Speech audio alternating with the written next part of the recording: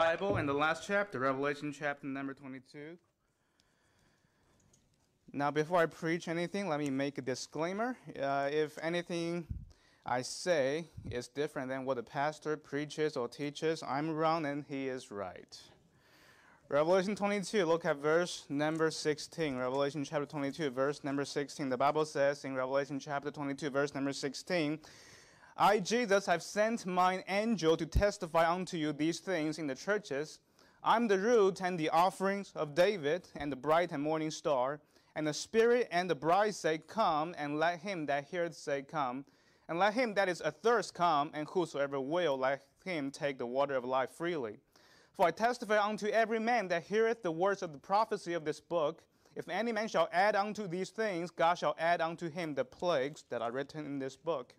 And if any man shall take away from the words of the book of this prophecy, God shall take away his part out of the book of life and out of the holy city and from the things which are written in this book. He which testifieth these things saith, Surely I come quickly. Amen.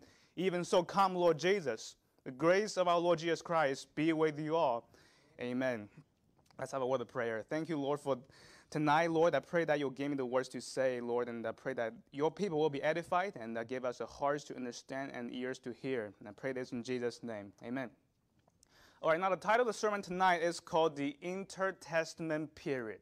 The Intertestament Period. Now, to understand the intertestament period, we have to define the term. Uh, now, the, the definition of the so called intertestament period is this it's a time between the last writings of the Old Testament and the appearance of Christ. It's known as the intertestamental or between the testament period. It lasts from the prophet Malachi's time around 400 BC to the preaching to, of John the Baptist. Because there was no prophetic word from God during this time, some refer to it as the 400 years of silence. Now, this is what I, what I, what I talk about as the intertestament period. Now, in order to understand that, we have to understand the overview of the whole Bible. We, we, to, we need to understand, uh, you know, in general, what the Bible is talking about. So tonight, I'm going to give you a super lengthy introduction. I'm going to give you the overview of the whole Bible, and then I'm going to draw several points in the end. Now, it's great to get an overview of the entire Bible because sometimes we read, say, a verse or a chapter, but we're taking it out of the context right? Sometimes we can take a verse out of context of the chapter. Sometimes we can take a chapter out of the context of the book. Sometimes we have to interpret a passage based on the entire context of the Bible. And the Bible says all scripture is given by inspiration of God and is profitable for doctrine, for reproof, for correction, for instruction in righteousness. You know, it will be a shame that if, you, you've been saved for years after years, but you, you haven't read the Bible, for even one time. It's great to have an overview idea of the entire Bible. In fact, my personal opinion is you shouldn't even be studying in depth the Bible unless you've read your Bible cover to cover one time, or at least known the overall message of the entire Bible to get the general context. Now, turn if you would to the table of content. The table of content. Now, I'm, I'm going to give you the overview, a survey of the entire Bible to help you understand what I mean by the intertestament period. The Bible says, For I, for I have not shunned to declare unto you all the counsel of God. A lot of people have not read the Bible cover to cover even one time, even though they've been saved years after years. Some people I know, they only read, read the book of Psalm, the book of Proverbs, the book of Genesis, yet they've never read the whole counsel of God. Now, if you go to the table of content, the Bible is actually divided into different sections. In the Old Testament, we have the first five books of the Bible known as the Torah, right? The Torah, the Pentateuch, also known as the Law or the Book of Moses. Now, the book of Genesis, uh, it starts with the story of the creation. You know, and the Bible is very clear. You know, everything is being created in six literal days. Because the Bible constantly says the evening and the morning were the first day, second day, so on and so forth. In the book of Exodus, the Bible describing, for in six days the Lord made heaven and earth, the sea, and all that is in all that in them is, and rested the seventh day. Now, some people who believe in the theological evolution, they will claim we're still living in the seventh day, but the Bible says God rested, past tense, the seventh day. So the Bible is clear the earth is created in six little days, and God rested the seventh day. So the book of Genesis kicked off with the creation story, and then we have the fall of man. We know that Satan deceived Eve, uh, and then and then sin has entered into mankind. Go if you would to Genesis chapter number three. Genesis chapter number three. So we have the creation story and we have the fall of man. Genesis chapter 3, look at verse number 15.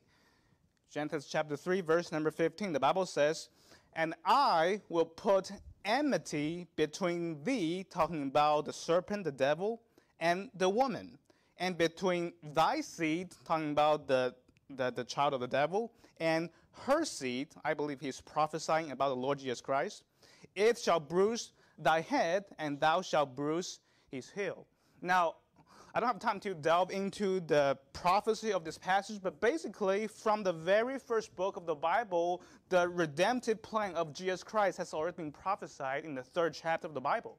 Talking about the seed of Satan versus the seed of the woman. Ultimately, it's talking to the Lord Jesus Christ going to crush Satan's heel, and then the Lord Jesus Christ's head, heel will be bruised. I believe he's talking about the crucifixion. So, on the very first book of the Bible, it's already talking about the redemption plan by the Lord Jesus Christ. And, and after that, we have the story of Cain killed Abel, and we have Lamech killed two men. We have the first murder, if you will, enter into the story. And the earth is full of violence. And because of that, you know, God told Noah to build the ark. God told Noah to build the ark. So we have Noah and his wife, and we have Noah's three sons and their wife. We have eight people in the, in the ark and God caused a flood, a uh, water, everything, killed every human being, killed most of the animals. So save Noah uh, and and his sons and wives. We have eight people. And after they came out of the ark, God told them to replenish the earth. Go if you would to Genesis chapter number 11.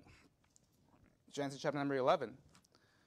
So after a period of time after they've replenished the earth, we have we have the story of the Tower of Babel. The Tower of Babel. Go to Genesis chapter 11, look at verse number 1.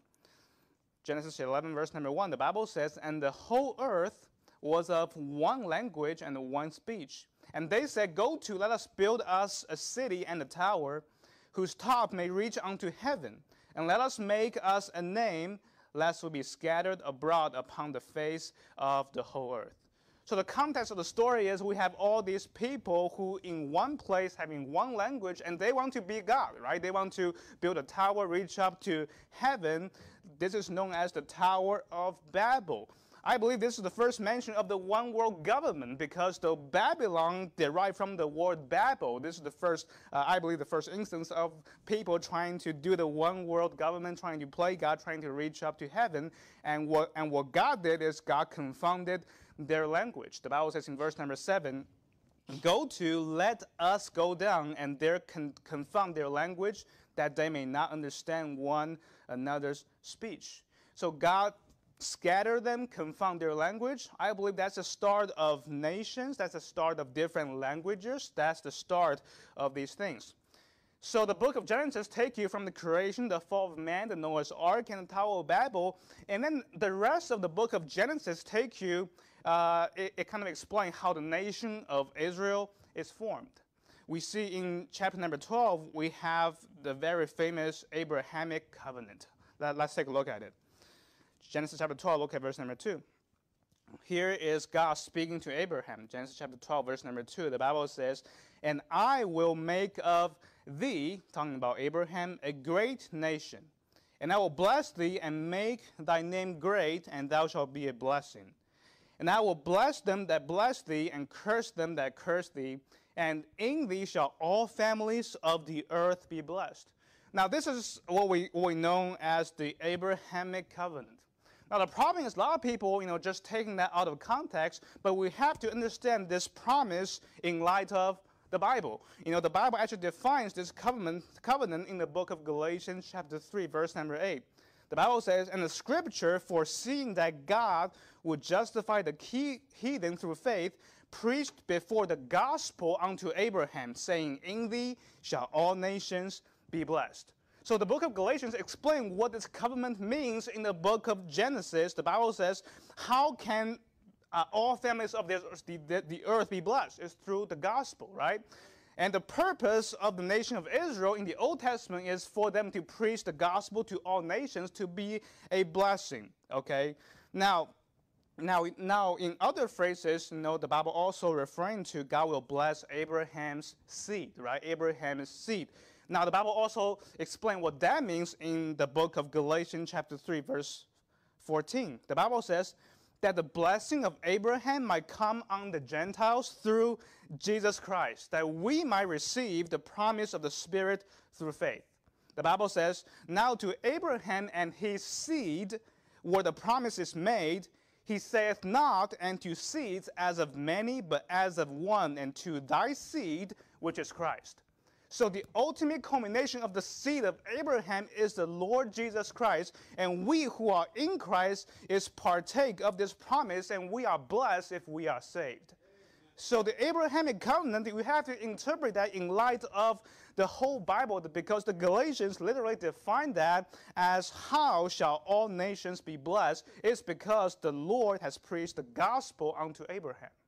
That debunked the teaching of dispensational salvation that teaches in the Old Testament uh, the people are saved by works. Okay, so the rest of Genesis it just tells you a story of how the nation of Israel was formed.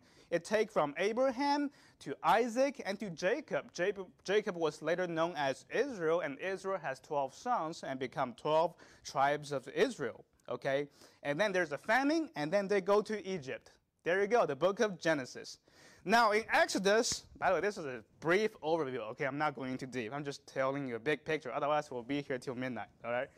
So, the book of Exodus, you know, we have the children of Israel from 70 people to a multitude of people, right? And then there was a new Pharaoh, a new king who knew not Joseph. So, there, there was a lot of afflictions, persecutions upon the children of Israel. So, God sent Moses and Aaron to deliver those out of uh, Egypt. So, so the, basically, the book of Exodus tells you the story of how the children of Israel, um, you know, how they came out of Egypt. And we have the story of the Red Sea, we have the story of the ten plagues, and then we have the story of the Ten Commandments.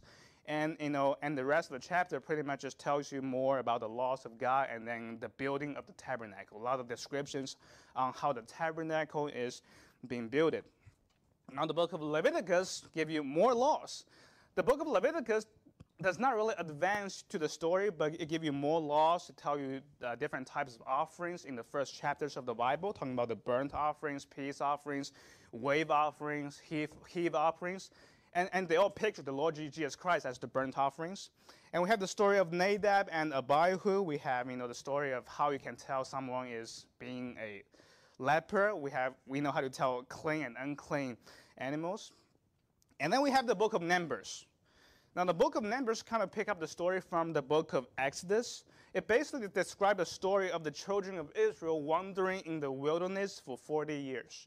Now, go if you would to Numbers chapter 14. Numbers chapter 14.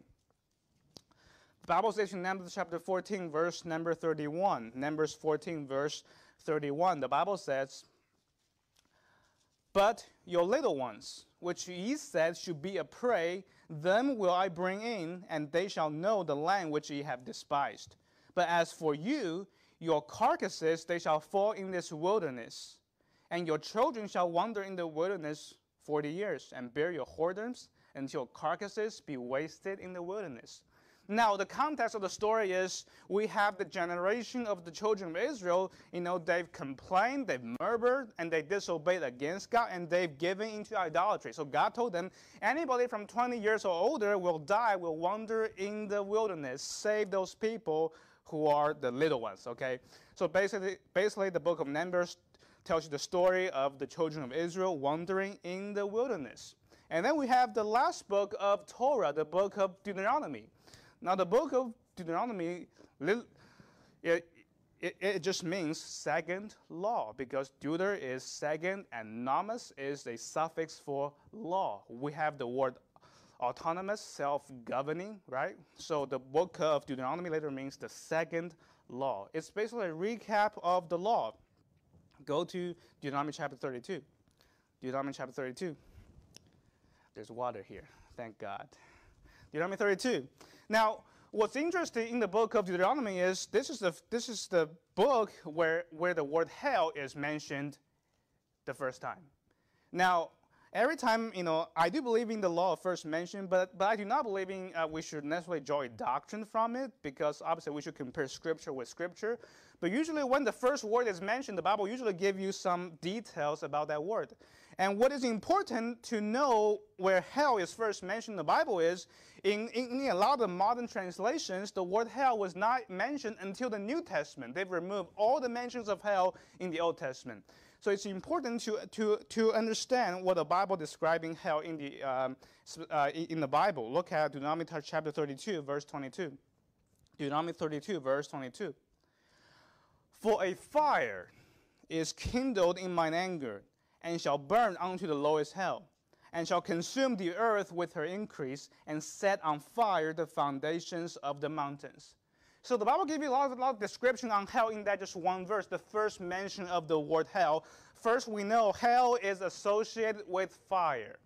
A lot of false preachers will tell you hell is not very far, it's not fire. You know, it's just simply the absence from God. There's no torture, it, it's just simply the absence, but that's not what the Bible teaches. The Bible says hell is fire, right? Hell is fire, fire, and the Bible also says, uh, "Set on fire the foundations of the mountains."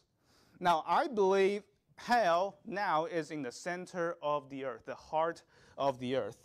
But after the great white throne judgment, the dead and hell will, will, will be cast into the lake of fire, which is known as the second death. So the book of Deuteronomy carries a recap of the law and then tells the story at the end that Moses died right before they went into the promised land. So here's the first five books of the Bible called the Torah. And then we move on to a section called the historical book. The historical book. It starts off with the book of Joshua. Go to Joshua chapter 11. Joshua chapter 11. So after Moses died, Joshua took the mantle. Joshua took his place, and they finally got to the promised land. But, but here's a problem the promised land, they were inhabited by the heathen nations. All right? So basically, God gave them the land, now kill them all, basically. Wipe, wipe them off. So God told the children of Israel to, uh, to destroy the inhabitants of the land because they are a wicked nation. There are abominations uh, filling the land. Joshua chapter 11, look at verse 21. Joshua 11, verse 21, the Bible says, And at that time came Joshua and cut off the Anakims from the mountains, from Hebron, from Debir, from Anab, and from all the mountains of Judah, and from all the mountains of Israel, Joshua destroyed them utterly with their cities. There was none of the Anakims left in the land of, of the children of Israel.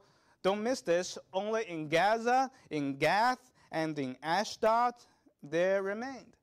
So God told them to wipe them up, to destroy them utterly multiple times, yet they've left a remnant which later they were a thorn in the children of Israel's eyes. So the book of Joshua kind of takes the story of they got into the promised land and there, there were a series of battles uh, while they are trying to destroy the heathen nations in the land. And then we have the book of Judges. Now, the book of Judges is while they are in the promised land, God told them to make no league with the inhabitants of the land, but they have not obeyed God, and they became thorns in their eyes. So Joshua died. The Bible describing there arose another generation which knew not the Lord. They did evil in the sight of the Lord. So they were ruled by the judges like Othniel, Deborah, uh, Samson, Gideon. We have a lot of famous stories about these people. But the book of Judges kind of give you a downward sin cycle, okay? So uh, we call it the sin, servitude, supplication, salvation cycle. Because they've disobeyed God, they've sinned. And because they've sinned, God has brought them bondage. God has brought them servitude. God used the heathen nations to punish them. They have the servitude. And then they cry out unto God for help, and then God provides salvation. God sends them a judge to deliver them. But what's interesting is every time there's a, there's a great judge, they did right in the eyes of the Lord. But every time the judge died, they fall back again into sin, into bondage. So the book of Judges, we're dealing with a downward spiral, the sin cycle. The Bible says in the last chapter of the book of Judges that every man did that which was right in his own eyes. And then we have the book of Ruth. Now, the book of Ruth took place during the time of Judges. It tells you the story of a beautiful picture of the kinsman redeemer, how pictures how God is going to redeem us. And then we move on to a section, the first, second book, the first, second Samuel, first, second Kings, and first, second Chronicle. Uh, go to uh, First Samuel chapter number eight. First Samuel chapter number eight. Now, First Samuel continued the story with the end of the time of the judges. I believe it starts with the last of the judges, Eli. Well, the problem with Eli is Eli is a soft person. The Bible says Eli's sons are the sons of Belial. They're sons of the devil, okay? And then we have the person named Samuel. Samuel is a great guy, but the Bible says his sons ruined a site after lucre, took bribes, and perverted judgment. So Eli and Samuel, you know, they all have children problem. They all have child problem. Okay, so so the children of Israel, you know, they want a king, but but obviously, you know, the Lord should be their king. So look at 1 Samuel chapter 8, verse number 19. 1 Samuel chapter 8, verse 19, the Bible says in 1 Samuel chapter 8, verse 19, Nevertheless, the people refused to obey the voice of Samuel, and they said, Nay, but we will have a king over us that we also may be like all the nations, and that our king may judge us and go out before us and fight our battles. So the children of Israel, they don't listen to Samuel, they, don't listen, they, they do not listen to God. They still want a king, and God gave them the desire of their own heart. So, so God picked King Saul. So the book of First Samuel take you from the beginning of the reign of King Saul to the death of King Saul for 40 years. Now we have the book of Second Samuel. This book of Second Samuel, uh, it basically tells the story of the second king of the nation of Israel, the King David. Again, he ruled 40 years. It tells you the story uh, from the beginning to the end of his reign. Now the book of First Kings, it starts with the death of King David, and then King Solomon, David's son, took his mantle. But King Solomon has a women problem. The Bible says he has 700 wives and 300 concubines, and most of them are from a heathen nation. The Bible describing, and his wives turned away his heart. And then we start the downfall of the nation of Israel. Okay, after Solomon died, his son Rehoboam took his place, but there's also a guy named Jeroboam. So Jeroboam decided to split off from him because I don't want to go into too much detail uh, because there are all kind of family problems before that. So Rehoboam is taking control of the southern kingdom, okay, the southern kingdom of Judah, and Jeroboam was taking control of the northern kingdom of Israel. So we have the northern kingdom, the ten tribes, and the southern kingdom, mainly composed of Judah and ben Benjamin. There are also Levites, okay? Uh, Judah, Benjamin, and Levites in the southern kingdom, and the rest of the tribes are in the northern kingdom. Now, in the book of First King, uh, we have obviously prophet Elijah. There's a lot of miracles there. And then we have the book of Second Kings. Now, the Second Kings kind of continue with the kings of Judah and kings of Israel. There are good kings and bad kings. Now, in the northern kingdom of Israel, there's no good kings. In the southern kingdom of Judah, we, some, we have all these good kings, bad kings, like Josiah, Uzziah, all these uh, you know, good kings. There's a lot of famous stories. We also have uh, prophet Elisha in, in the book of Second Kings took, took, took the mantle after uh, prophet Elijah. So the book of Second Kings kind of, kind of, kind of carry the storyline uh, with all the kings of Judah and Israel till the captivity. You know, the Israel were taken captive by the Assyrians, and Judah were taken captive by the Babylonians. Now, if you will go to 2 Kings chapter 16, 2 Kings chapter 16. Now, in the book of 2 Kings chapter 16, this is the first time the word Jews is mentioned. The first mention of the word Jews. First, uh, 2 Kings chapter 16, look at verse number 5. 2 Kings 16, verse number 5, the Bible says, Then Rezin, king of what? Syria, And Pekah, son of Remaliah, king of what? Israel, came up to Jerusalem to war. And they besieged Ahaz, which is the king of Judah, and could not overcome him. So we have the context of king of Syria and king of Israel going against Jerusalem, going against Ahaz, the king of Judah, right? Look at verse number 6.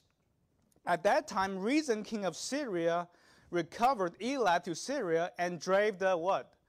The Jews from Elath, and the Syrians came to Elath and dwelt there unto this day.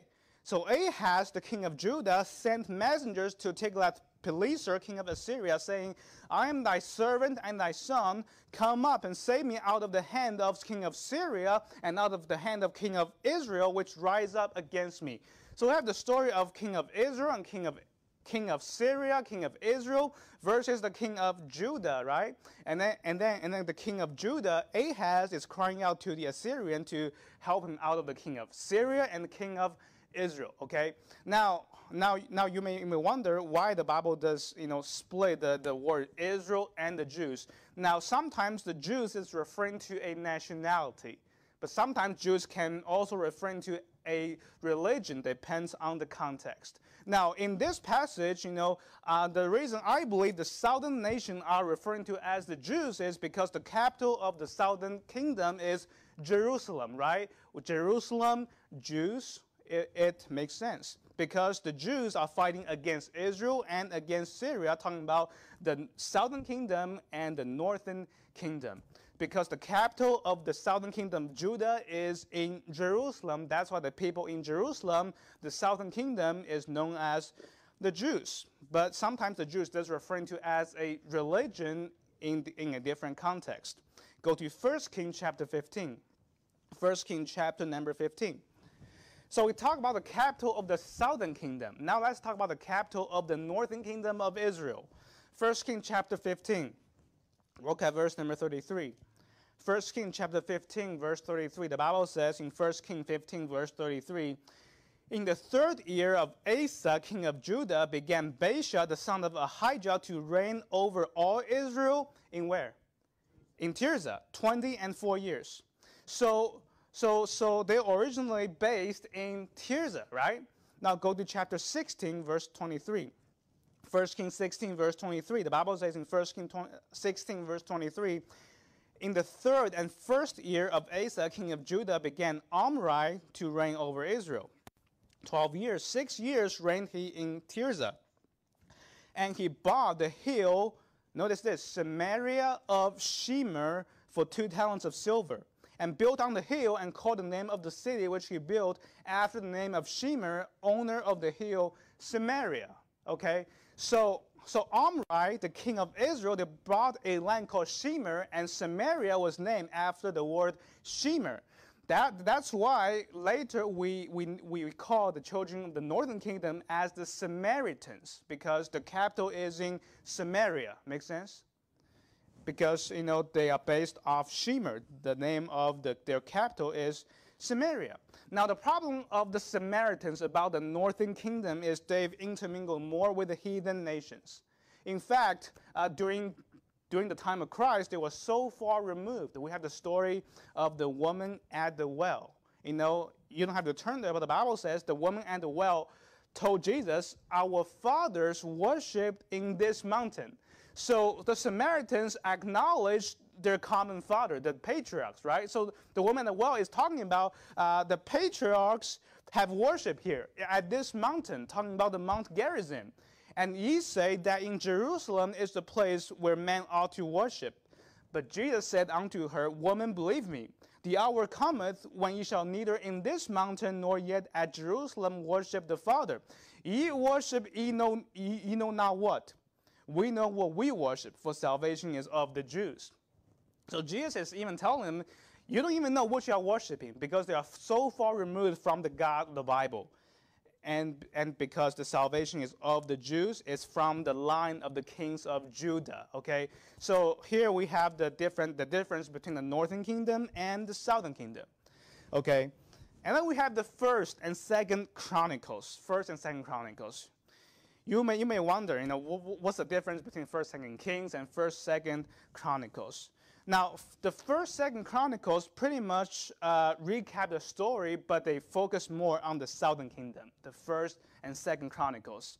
Just like the Gospels, you know, we have four Gospels telling the, telling the story from four different angles. We have first, second Chronicles, uh, recap the story, but focusing on the southern kingdoms. Now, the book of First Chronicle pretty much have the same storyline as the book of Second Samuel, and the book of Second Chronicles have the same time, uh, kind of same timeline between First and Second Kings. So they are kind of a recap of the story, but have, but from different angles. Okay, so First Chronicles parallel with Second Samuel, and first, Second Chronicles parallel with First and Second Kings. And then we have the book of Ezra. So the book of Ezra just taught, just told a story that Judah came back from the, from the captivity during the first year of Cyrus, king of Persia, and they built a temple. And then we have the book of Nehemiah, they built a wall. Okay, and then we have the book of Esther, which happens in the Medo Persian Empire in Susa, the palace. So, pretty much from Genesis to Esther, the Bible is in a perfect chronological order. Does that make sense to you? From Genesis to Esther. And then we enter into a new section called the poetic books. We have the book of Job, Psalm, Proverbs, Ecclesiastes, and the Song of Solomon. Okay, now the poetic books they don't really contribute to the timeline, but they are full of wise sayings and doctrines. You know, you know. But but I but I do believe the the poetic book is in chronological order in and of itself. Think, just think about that. The book of Job, I believe, is written during the book of Genesis. It's one of the oldest books in the Bible. And Psalm, the primary author is David, right? Proverbs, primary author is Solomon. He wrote Ecclesiastes and Song of Solomon's. So the book of poetic books, in and, in of itself, is indeed in chronological order as well. Um, we have a lot of wise sayings and doctrines from Psalm, Proverbs, even Song of Solomon's. A lot of people don't want to read Song of Solomon's, but if you really study it, they have a lot of great doctrines. Why? For all scripture is profitable for doctrine. That's why read Song of Solomon, all right? Okay. And then we enter into a new section called, called the prophetic book.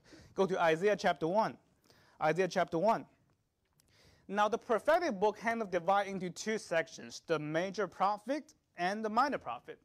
Now, the major prophet and the minor prophet they are not called major prophet because they are better.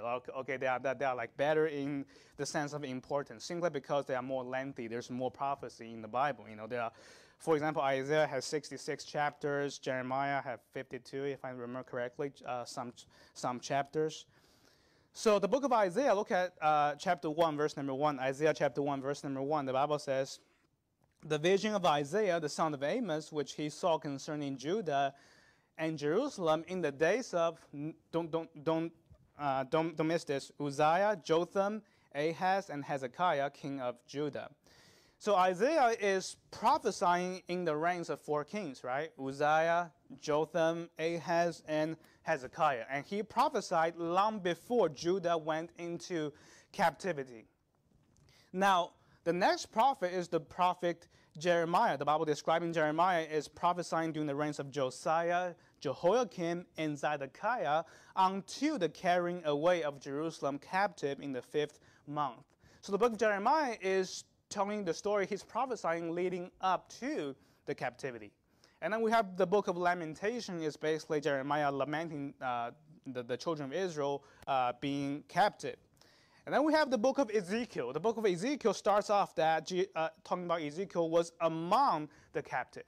So notice this Isaiah is long before they came and went into captivity. Jeremiah is leading up to the captivity, and Ezekiel is when they are among the captivity. Okay, and the book of Daniel is pretty much still among the cap, uh, still among the captivity, but Daniel lived a long life. He's uh, prophesying towards the end of the captivity. So pretty much the major prophet is also in chronological order, right?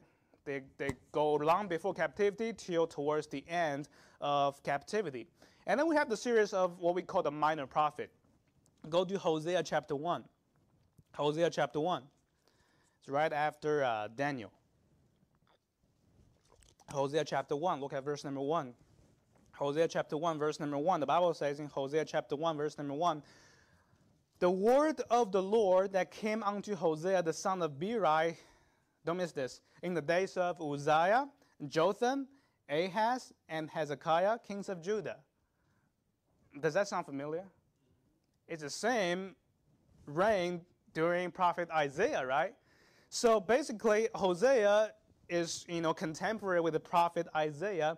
So I, uh, the, the minor prophet in and of itself is also in chronological order if you study it.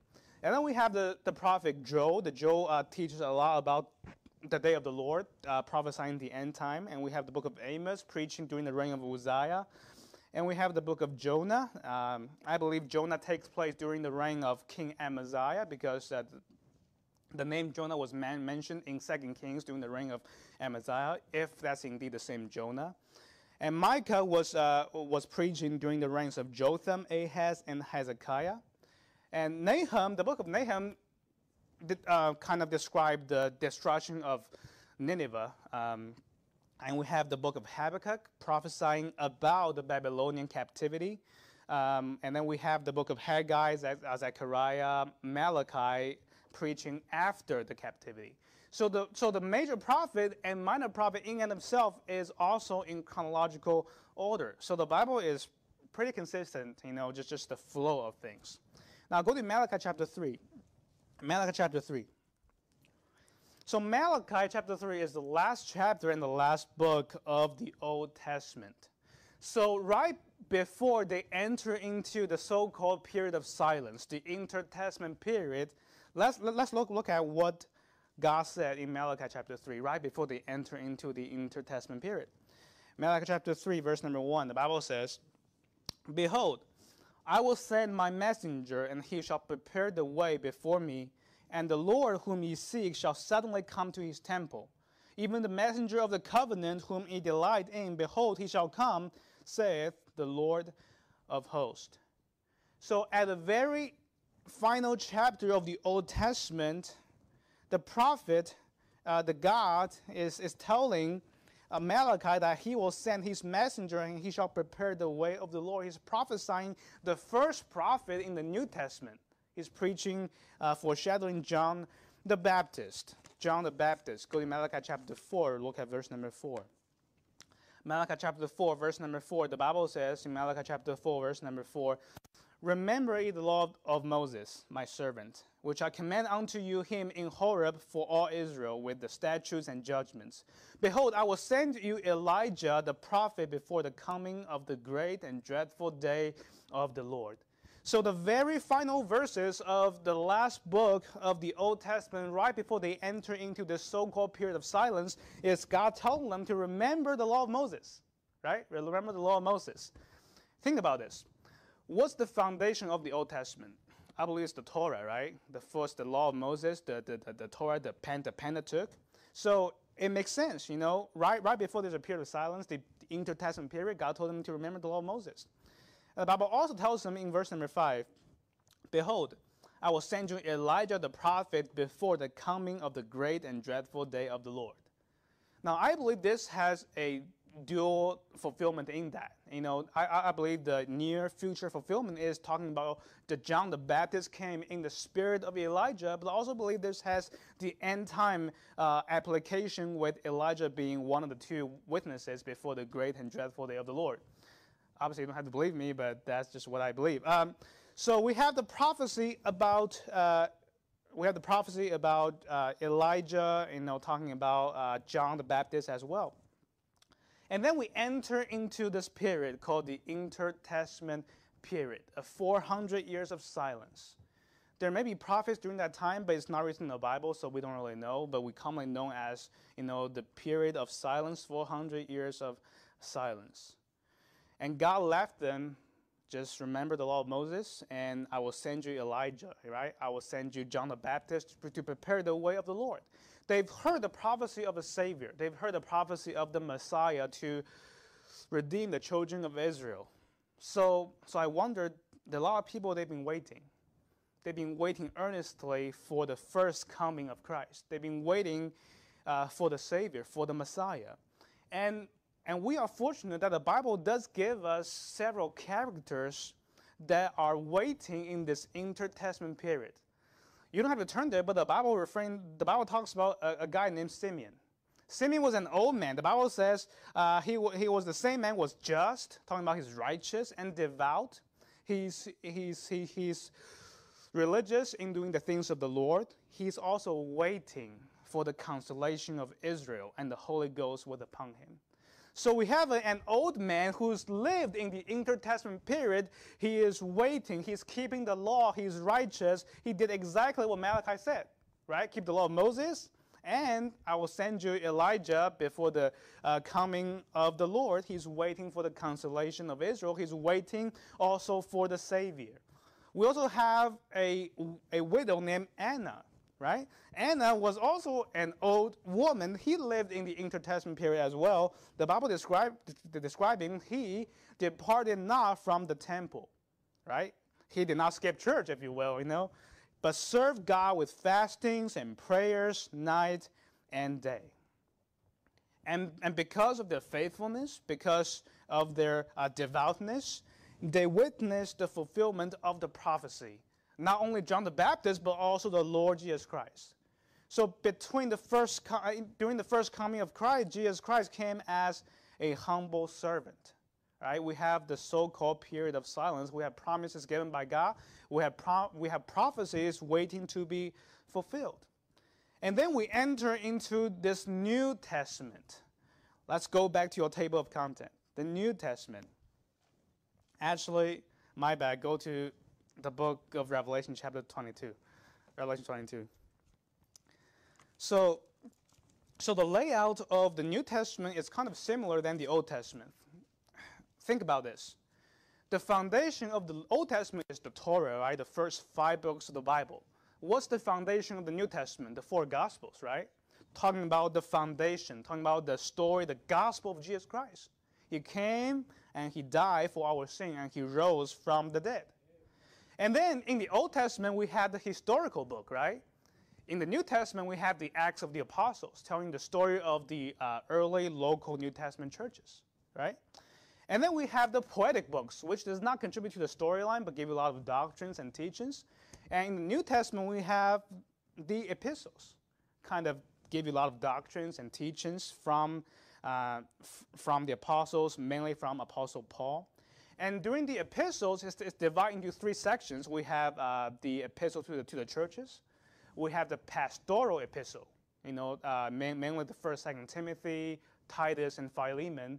And we have the general epistles because there's really no specific audience. Uh, the book of Hebrews, written to all Hebrews, first, second Peter, first, second, uh, first, second, and third John, and the book of Jude. And then in the Old Testament, we have the prophetic book, right? And in the New Testament, we have the book of Revelation. So again, it's a very uh, nice parallel, and, and, again, it's also in chronological order in and of itself. Now, remember, in the Old Testament, the Bible ends with the book of Malachi, right? Telling to remember the law of Moses and waiting for John the Baptist, waiting for Elijah, things like that. Now, look at Revelation chapter 22, verse number 6. Revelation 22, verse number 6 the last book of the New Testament, the Bible says in Revelation 22, verse number 6, And he said unto me, These sayings are faithful and true, and the Lord God of the holy prophets sent his angel to show unto his servants the things which must shortly be done. Verse number 7 Behold, I come quickly. Blessed is he that keepeth the sayings of the prophecy of this book.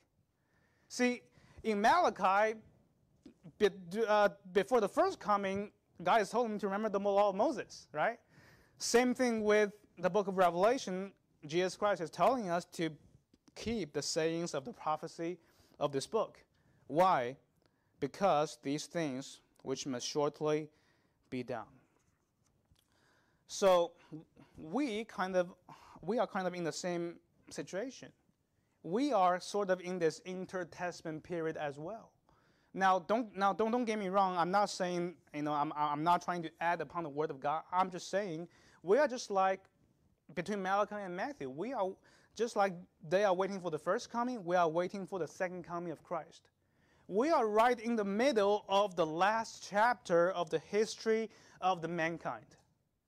So During the first coming, Jesus Christ came as a humble servant, and in the New Testament, we are waiting for the second coming of Christ, and Jesus Christ will come as a mighty warrior.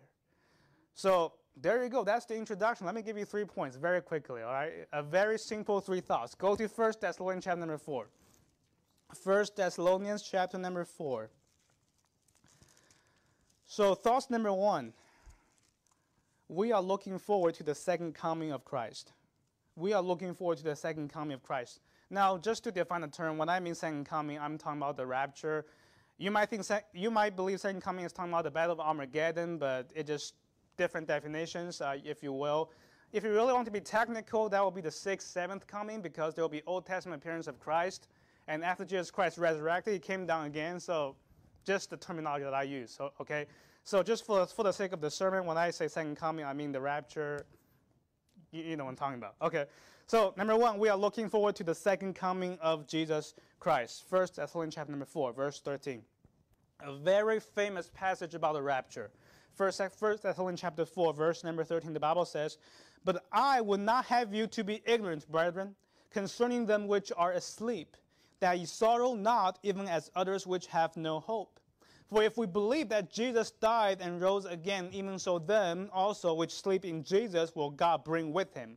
For this we say unto you by the word of the Lord, that we which are alive and remain unto the coming of the Lord shall not prevent them which are asleep. For the Lord himself shall descend from heaven with a shout, with the voice of the archangel, and with the trump of God, and the dead in Christ shall rise first. Then we, we which are alive and remain shall be caught up together with them in the clouds in, to meet the Lord in the air, and so shall we ever be with the Lord. Wherefore comfort one another with these words. A very powerful passage. We preach that in funerals that we shouldn't be sorrowing if our loved ones are, are, are trusting in Christ because it, it's just a short farewell, right? We'll see them again in heaven. But notice in verse uh, chapter number 5, verse number 1, the chapter starts with the word but. Now, I'm not a theologian, but I know but is a conjunction, right? So it's in the same thought of the last passage of chapter number 4. is talking about the rapture. Notice chapter 5, verse number 1, the Bible says, But of the times and the seasons, brethren, ye have no need that I write unto you. For yourselves know perfectly that, that the day of the Lord so cometh as a thief in the night. Let's continue reading. Let's not take that verse out, uh, out of context. Verse number 3. For when, notice word, the word day. For when they shall say peace and safety, then sudden destruction cometh upon them, as travail upon a woman with child, and they shall not escape. Notice verse number four. But ye, brethren. So the Bible gave you a stark contrast between they and the brethren, right? But ye, brethren, are not in darkness that that day should overtake you as a thief. So, if you draw your doctrine from the Left Behind movie, you are wrong, all right? There's no such thing as a secret rapture because we as believers, the Bible says that they should not overtake as a thief. Why? Verse number five. Ye are all the children of light and the children of the day. We are not of the night nor of darkness. Therefore, let us not sleep as do others, but let us watch and be sober. For they that sleep, sleep in the night, and they that be drunken are drunken in the night. But let us who are not of the who are of the day be sober, putting on the breastplate of faith and love, and for an helmet the hope of salvation. For God hath not appointed us to wrath, but to obtain salvation by our Lord Jesus Christ. That's why we don't believe we'll be still on this earth during the wrath of God. That's why we'll be raptured out before that because we as believers are the children of light. We, we are watching and be sober that they should not overtake us as a thief because we have the hope of salvation. We have the hope of Jesus Christ going to take us out. We are looking forward to the second coming of Christ. Go to Revelation chapter 1. Revelation chapter 1. I'm almost done. Revelation chapter number 1. So I said number one, we are looking forward to the second coming of Jesus Christ. I said number two, we are living in the last days. We are living in the last days. Revelation chapter 1, verse number 1, the Bible says, the revelation of Jesus Christ, which God gave unto him to show unto his servants these things, which must shortly come to pass. And he sent and signified by his angel unto his servant John. So the Bible is saying these things in the book of Revelation will be shortly come to pass. Now here's the problem. It's been 2,000 years after that, all right? And also in the New Testament, the Bible is referring to the apostles during their time in the first century as the last days. So by, so by that teaching, we are also living in the last days. You, you say, why? Because anything past the halfway point is the last days. For example, if the earth is 6,000 years, anything past 3,000 years is the last days. If the earth is 7,000 years old, then, then anything past 3,500 years is the last days. That makes sense? Anything technically past the halfway point is the last days. So even during the first century, they are living in the last days, and we also are living in the last days. And the Bible have you give you a lot of prophecies about the last days. Talking about in the last days, perilous times shall come, right? Men shall be lovers of their own, own selves, covetous, idolatrous. But the Bible also says in Revelation chapter 1, verse number 1, talking about these things must shortly come to pass. Because we, God wants us to know what's going to happen. God wants us to know what's going to happen. We know in the book of Revelation, we have some main events the seven seals, seven trumpets, seven vials. We have the battle of Armageddon. We have the judgment seat of Christ. We have the millennial reign of Christ. And we have the battle of Gog and Magog. Okay? By the way, I believe the battle of Gog and Magog take place after the millennium of Christ, not before the tribulation, because it's just what the Bible says. It's not what left behind teaches, right? Then after the battle of Gog and Magog, we have the great white throne judgment. The death and hell will cast into lake of fire. And then we have the new heaven and new earth will be forever with the Lord. The Bible says these things must shortly come to pass. And I believe personally that Jesus Christ will come in my generation because we see with all the technology, all the, all the prophecy can be literally fulfilled in our lifetime. Look at Revelation chapter 1, verse number 2. Revelation chapter 1, verse number 2. Because these things must shortly come to pass, look at verse number 2. Who bear record of the word of God and of the testimony of Jesus Christ and of all things he saw, blessed is he that readeth and they that hear the words of this prophecy and keep those things which are written therein, for the time is at hand. So here's the Bible is admonishing us because the day is near, because the time is at hand, because we are living in the last days, we just need to be faithful, right? Read God's word, hear the words of this prophecy, preach, and keep those things which are written therein.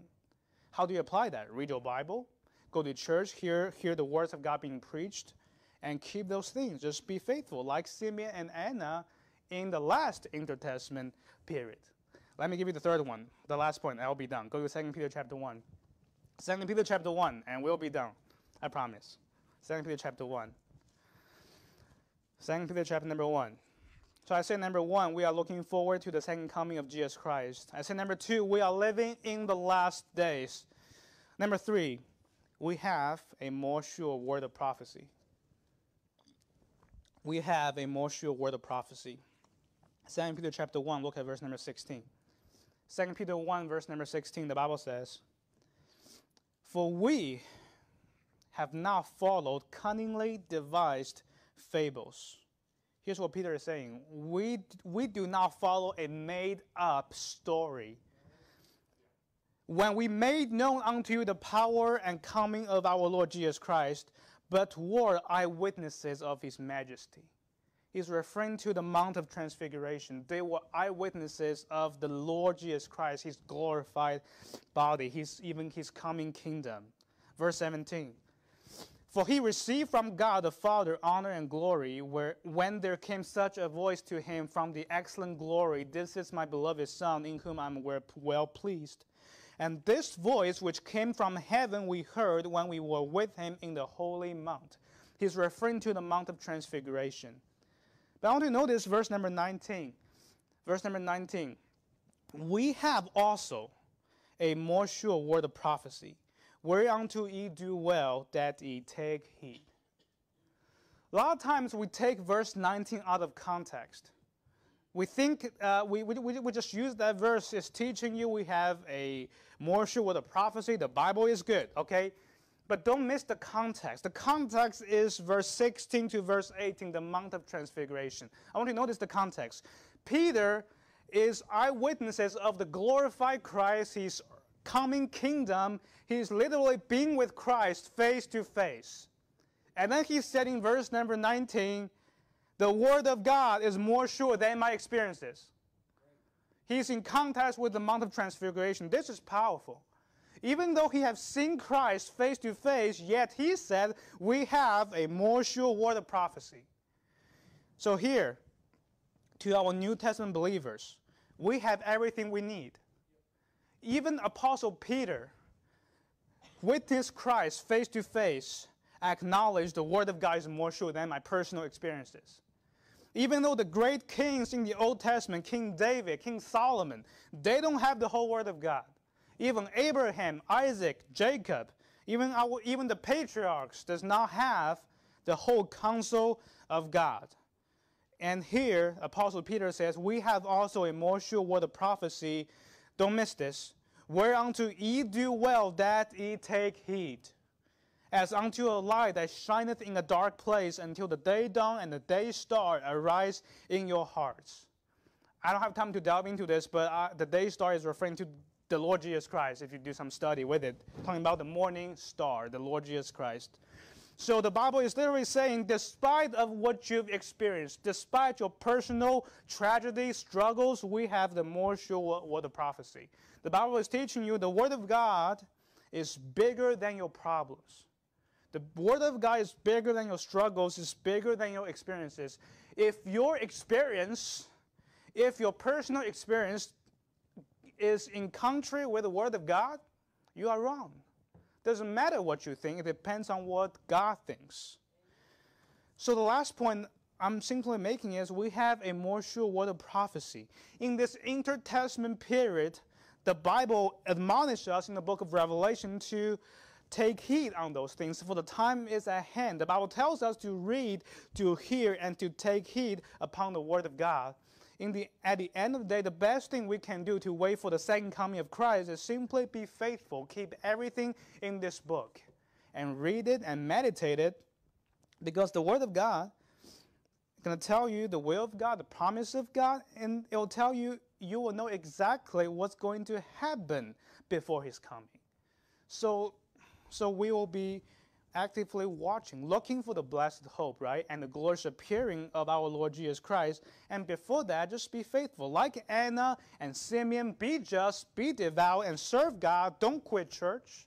You know, have, an, have any, as many people saved as possible, be the fishers of men. But more importantly, we have the sure word of prophecy. And I hope uh, this sermon tonight, I gave you the overview of the whole Bible. I mean, I, I mean, I hope you learn something from it. I, I, hope, I hope that encourage you to read the Bible more. You know, it's not that complicated. Obviously, there, obviously, obviously there's some dark sayings, some deep doctrines in the Bible. But, but if you just be faithful, you know, if, if you just be faithful, God will bless you. So, so let's do this. Let, us actually close the sermon with a song. Uh, Miss Bethany, if you can come forward. Uh, let's go to page 840, song number 840. Let's close the sermon with a song, and I'll close with a prayer.